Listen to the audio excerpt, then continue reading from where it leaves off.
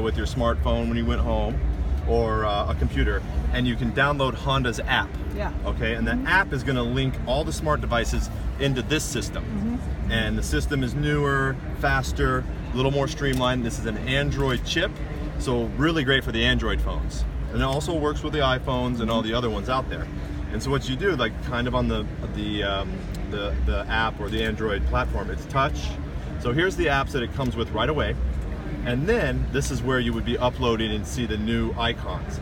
It won't let me go any further since I don't have any more, but you could have multiple pages. Ah. So eventually I could have, wait, you want a better one? Yep. Yeah. I could have Gmail, I could have Amazon, I could have Open Table, Yelp. Now you can't put Angry Birds or TV because that's dangerous. That's why Honda controls what applications. yeah, right. But it will be so I could link this to my smart home Mm-hmm. and voice activate, say, what's the temperature at home? And it will tell me and I could raise the temperature, lower the temperature. Oh, okay. If I have that smart home feature. see, I see. Or I can say, order from Amazon, bump, bump, bump. Right, And have it just while you're driving, hands free by the voice automated system. Hmm. Now sometimes we need to touch it to get it, so that's what makes this nice too. It's very sensitive.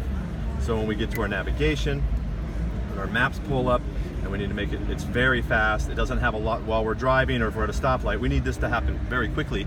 So when we're not starting to drive and it's refreshing and getting stuck, and again, see now this is telling us through the demo, here's some accidents. I can talk to this as well, and then it can tell me to go this way, this way, you know, So- reroute myself. So is the connectivity already in this The- display, or do you have your own? you Yeah, it's going to run off of the phone. Okay, So right.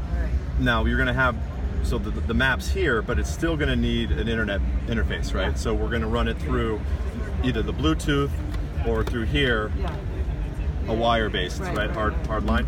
And then that way it'll use your phone as like a hotspot or you know linking itself to the internet to use the internet features. Mm-hmm. Right. Yeah, that I have that with my uh, Honda car, so I know Yeah, that car. so- this this display is different. This is a slight, yeah, slightly different. Someone else said they had a Honda Pilot 2018, Okay. and it's slightly different. Right. But I think because this is the demo car, and this Yeah. is kind of the idea at the chip that they have now. This is Generation One, Yes. and Generation Two will be coming out, and it'll just get a little better, a little faster, more options. Can I touch? Yes, of course. Now this is only a demo, so it's not going to have everything uploaded because they had to take all the stuff out of the car so someone can't start it or drive it away. Oh, or- okay. So this is same as my car. Mhm. and so you've seen the demo calls and stuff. On your way to 5575 Morehouse Drive, traffic is light You wanna as come up front? usual. The route via I-15 South is still the fastest.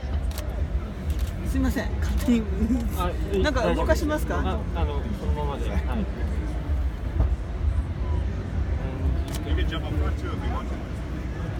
どうぞよよかったら。まあ大丈夫ですここで